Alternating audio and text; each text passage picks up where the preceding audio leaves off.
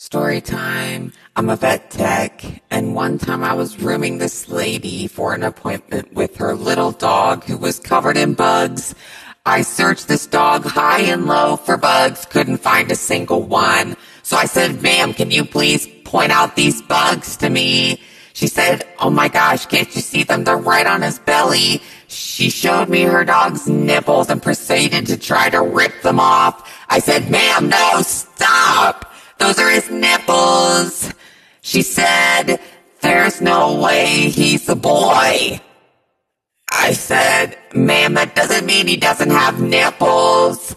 Those are definitely his nipples. Notice how they're so symmetrical. She said, no, there's no way he's a boy. I said, ma'am, doesn't your husband have